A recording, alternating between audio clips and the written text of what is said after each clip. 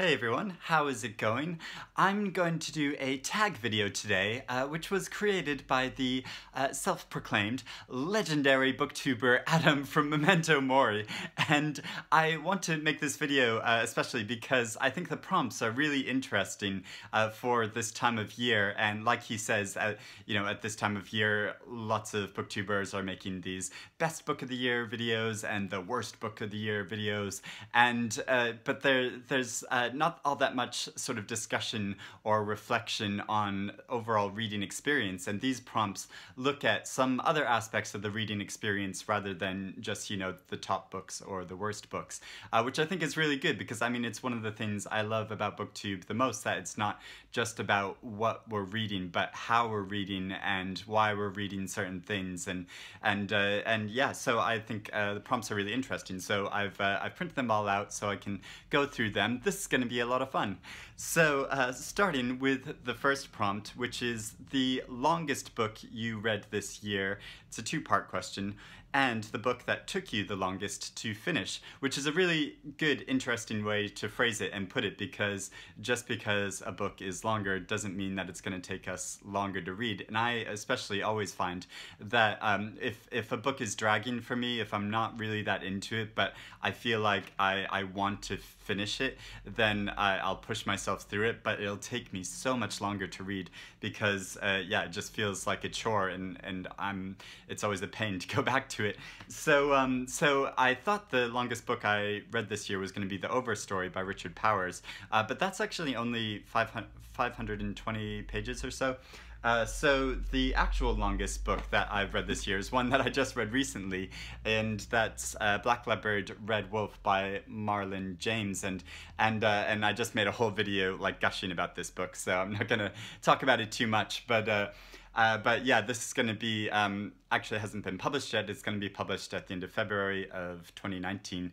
And, uh, and this sprawling, amazing fantasy novel in this sort of mythologized Africa, drawing upon all this African history and folklore. And uh, yeah, it's an incredible tale. I think it's around 640 pages, uh, but I, I was so into the whole adventure of it that I just enjoyed it so much. And, you know, and I don't read fantasy novels all that much, but, but this is very different and, uh, and does something really interesting and exciting. So, uh, so yeah, that was a great experience but uh, but actually I probably read this in a faster amount of time than Anna Burns' novel Milkman, which took me much longer. So Marlon James won the Booker Prize a few years ago, and uh, people uh, would, uh, when they described reading that book, they would describe it as a difficult reading experience.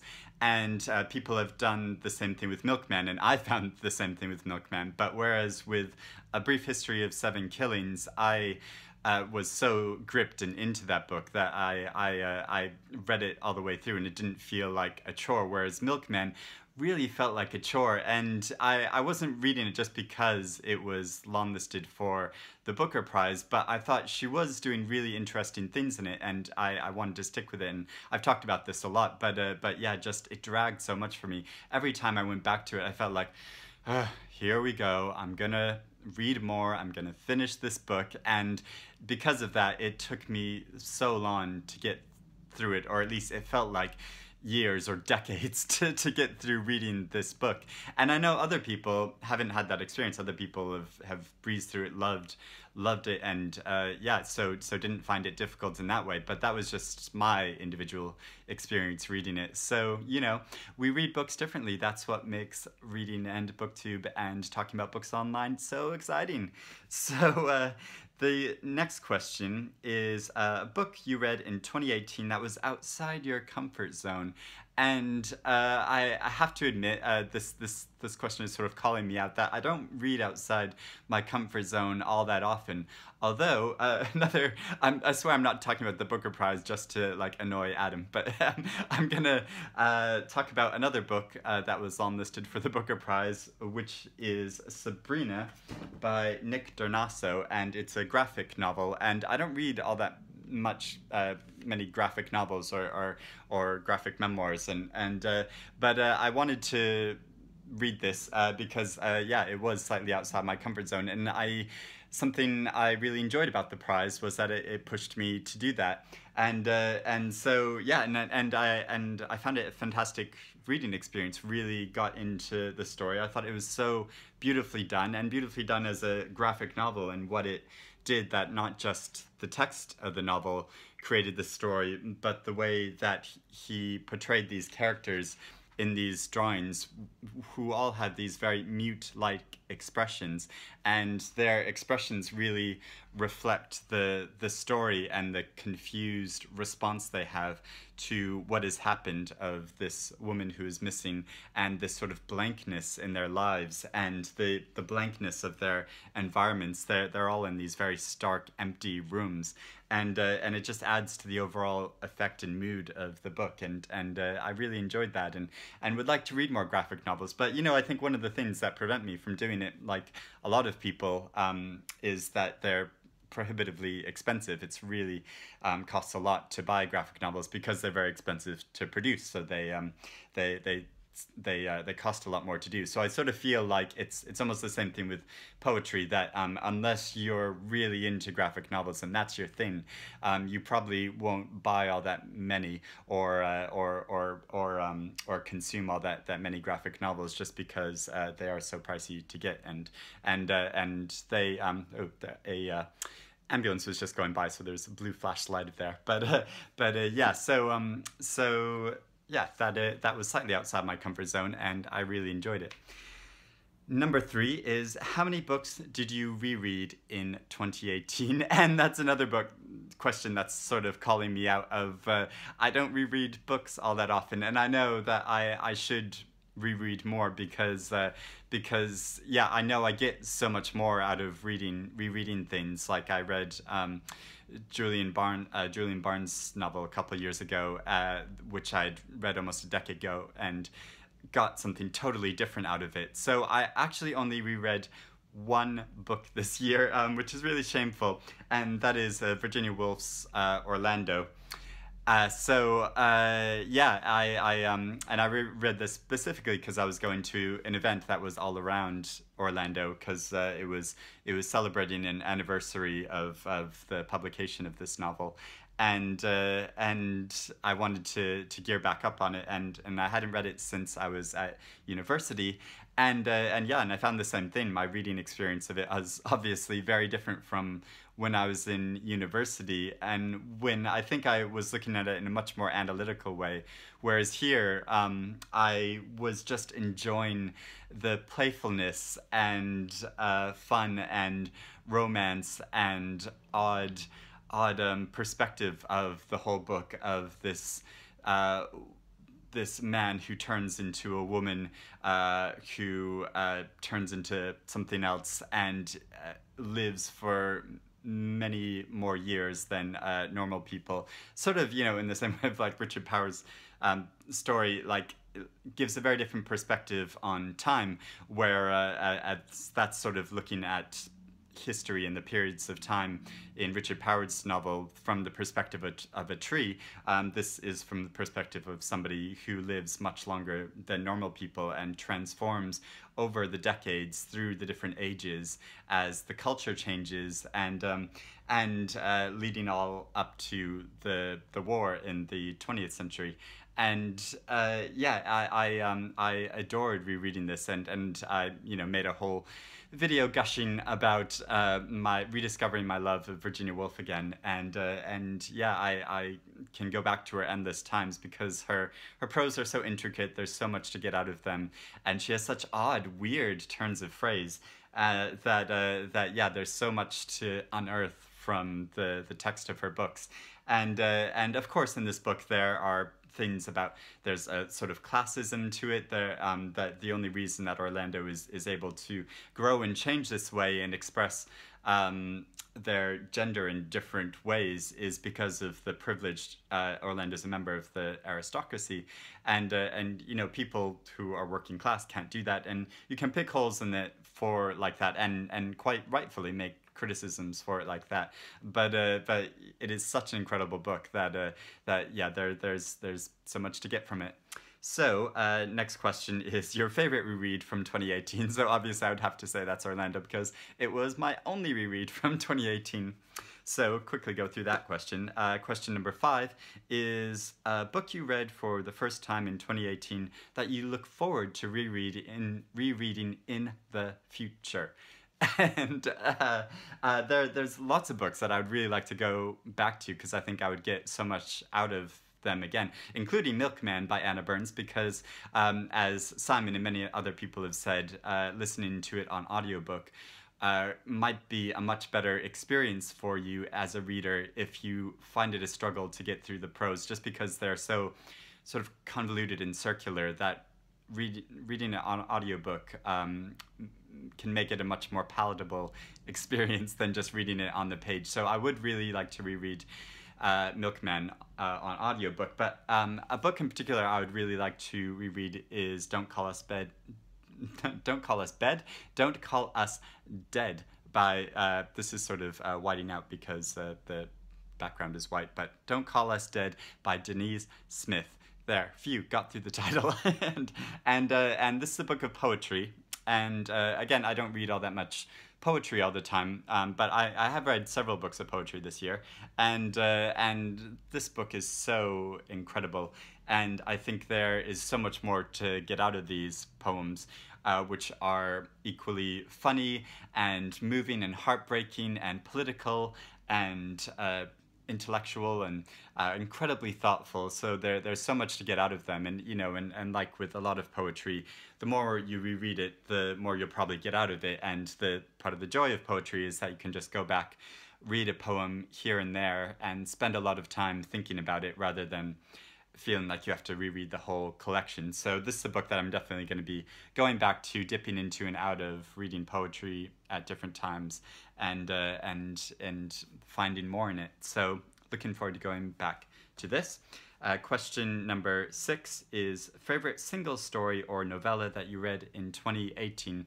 And I only read a few books of um, short stories this year. I, I usually like to read more because I really like short stories. But um, one book is uh, Night Gaunts by Joyce Carol Oates. And uh, again, I made a whole video specifically about this book in uh, reaction to Sean's um, The Epigraph ta tag. Um, uh, talking about this book in relation to the quotes that Joyce Carol Oates uses at the beginning of the book.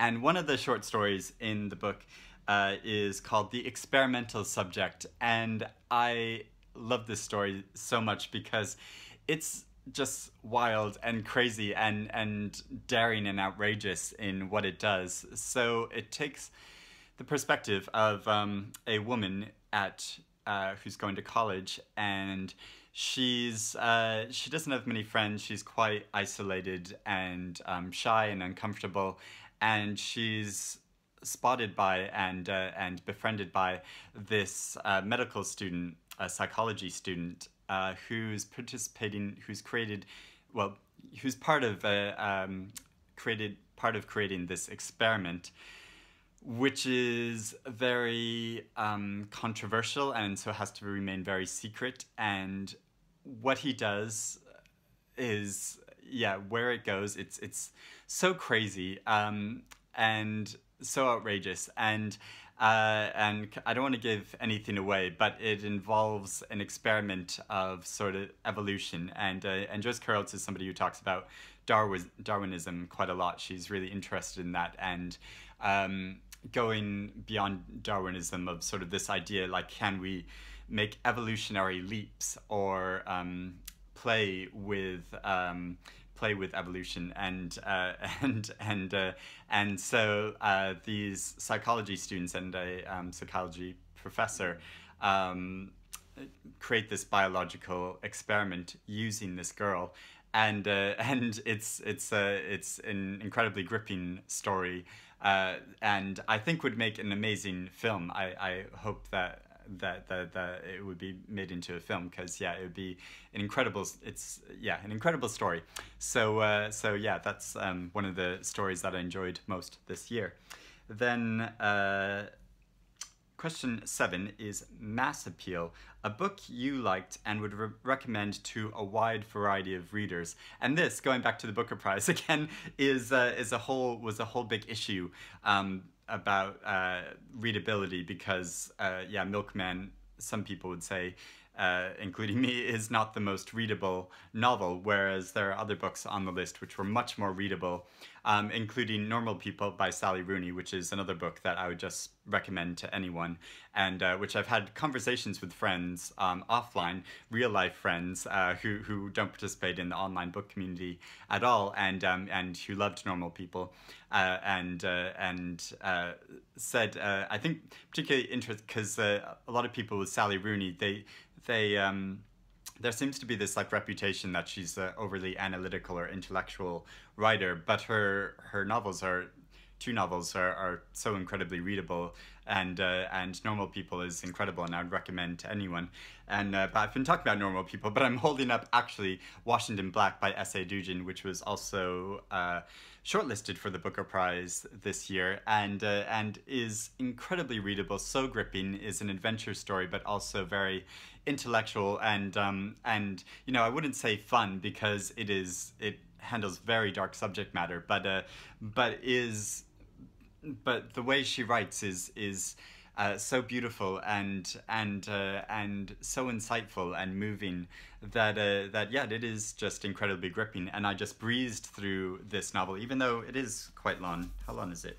It's uh, it's, well only just over four hundred pages, but uh, but yeah is is uh, is such a joy to read that I would recommend it uh, to anyone and would uh, and yeah and hope lots and lots of people will read it. And uh, then the next question, which is looking at the sort of polar opposite, which is really interesting, is um, Specialized Appeal, a book you liked but would be hesitant to recommend to just anyone. And uh, and I know there's there's a lot of books like that that um that books that I I enjoy because of the particular subject matter or they it may be like really stylistically interesting why the author wrote it in that way. And uh, or yeah it's just a specialized subject that I I really enjoy or or a writer whose sensibility that I sync with that may not I can guess won't appeal to a wide variety of readers. And, uh, and so one of those books is um, People in the Room by Norah Lange, which was um, written many decades ago but has only been um, translated and published in English for the first time this year. And, uh, and this is a novel, um, South, South American novel, that, uh, that is uh, it it does what it says on the tin. It's um it's about a woman uh, looking out her window, observing these three other women in uh, the house opposite and how these women just sort of sit in this room and don't really do much. And it's just her observing them making guesses about um, who they might be what they might be doing their relationships with each other and uh, and inventing all these scenarios for them. And uh, so yeah plot wise not a lot happens in this book. It's more it's uh, more just about the um, her her imagination and the way in a sort of similar way that Rachel Cusk does of telling more about the character from uh, her observations of other people rather than looking internally at herself because she's um she's uh, uh, I think she's in her late teenage years, and so she's just on the brink of adulthood.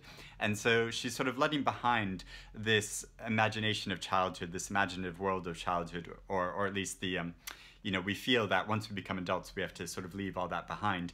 And uh, and she she just likes to sit there and imagine these women in all these different scenarios. Some of them, you know, these really melodramatic scenarios, and and others just very like domestic, um, dull sort of situations that she imagines them in and uh, and so you know it never yields any real answers. There's no uh, big sort of climax um, to the book, but it's um, it's I think it's so fascinating and interesting her way of looking at this woman's psychology and and uh, and the way uh, we observe each other, the way that we project onto other people. Uh, that uh, yeah is so good and uh, I really enjoyed it but yeah wouldn't recommend it to a huge variety of people um, just because uh, yeah I don't think it would have an incredible mass appeal So uh, then finally, um, well, not finally, but uh, the ninth point is he asked to reflect on your year as a bookish content creator. Uh, this could be goals met, good, bad, memories, favorite videos you made, etc. Uh, so uh, yeah, I I um I think this is quite interesting because um yeah I um I I feel like I've sort of been finding my voice a bit more. I mean, I guess we all do as the longer we make videos on booktube the longer we find our voice the more comfortable we feel with this weird experience of talking directly to a camera and not having anyone speak back to us. But um but knowing from having more comments and having more interactions with viewers in the comments that uh, that it is really like a dialogue. And um and it's something I enjoy the most about booktube and making videos is all that interaction and getting recommendations from people and um, and yeah, having more in-depth chats about the experience of reading as well as particular books. So um, so yeah, I I um I feel like I've been finding my voice a bit more and getting into a pattern of, that I'm comfortable with, and uh, and I know a lot of booktube creators um, like Adam have sort of thrown up or given up um, making haul videos and uh, reading wrap-ups. But uh, but I enjoy the the sort of the uh, the rhythm of that how that follows the the rhythm of uh, reading month. And uh, and so I um I, I still do make haul videos and wrap-up videos because yeah it's a good time for um, both excitement about books that are coming up and reflection on what I've just read. And uh, and so I always sort of think in my mind that those are the two videos I want to make any month every month. And um, and any other content is just sort of a bonus that just comes up as as it as it comes up of, of what I feel like making and responding to and, and talking about on booktube videos. So um so yeah I, I enjoy that that rhythm. Um, and I, I know as a lot of other booktubers change and grow that um, that that might not work for them anymore. And that's totally fine. And, and it's really interesting the creative new kinds of videos that different kinds of booktubers come up with that really suit their their character, who they are, and the way that they read and what they're reading. So um, so that's great. And and I would like to rather than highlight my own videos um, so much, I, I would like to highlight some other booktubers' videos that I've really enjoyed this year. So um, Annie, the wonderful booktuber from her booktube channel, which is uh, Am I Right? That's what she calls her booktube channel and uh, and she she's she's uh, she's so wonderful to watch. And she made a great anti-valentine's book recommendation video earlier this year back in February um, which was so enjoyable to watch. Even though I'm I'm a big sucker for Valentine's Day it's my favorite holiday. I'm I'm a big old romantic at heart. Uh, but uh, but I really enjoyed her anti anti Valentine's Day um, recommendations uh, I would also recommend um, Matthew Sciarappa, um, who's always a delight to watch.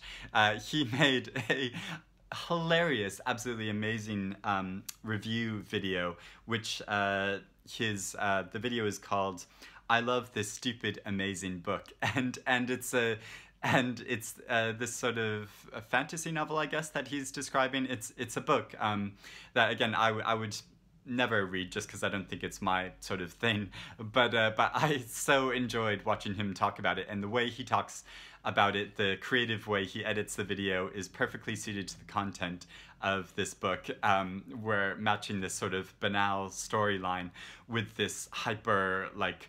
Uh, worlds colliding, crashing together um, sort of uh, storyline, and uh, and it's just so funny how he handles it and talks about it, and uh, yeah, that that is so great. And then um, Amy Yuki Vickers um, made this great video uh, called um, convenience store woman and a Japan vlog, and uh, and I particularly enjoyed this this uh, this video because she talks about the novel Convenience Store Woman, a Japanese novel that was translated and published this year, uh, which um, I talked about and a lot of people have talked about and made comparisons to the novel Eleanor Oliphant is completely fine and the sort of and it's um, because these these novels naturally go together or seem like they naturally go together because superficially their characters are very similar in what they talk about the condition of loneliness and this very these very isolated characters who um, find it very difficult to socialize with other people.